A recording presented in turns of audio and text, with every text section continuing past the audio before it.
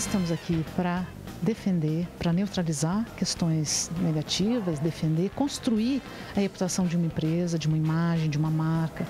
Então, é, é uma área muito importante hoje. Muito importante por causa desse momento que nós estamos vivendo de total descontrole das, da, da, da reputação de uma empresa. Porque a reputação está na mão das pessoas. Né? Hoje, todos nós somos jornalistas. Então, uma pessoa qualquer, né?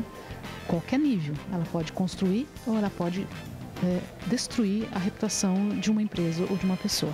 Então, está nas nossas mãos, está na mão do consumidor, é um total apoderamento do consumidor e é sobre isso que nós falamos hoje. Então, a área de comunicação está em, né, é, em voga, é importantíssima porque ajuda empresas, ajuda pessoas, governos, a própria mídia a se posicionar e a se relacionar.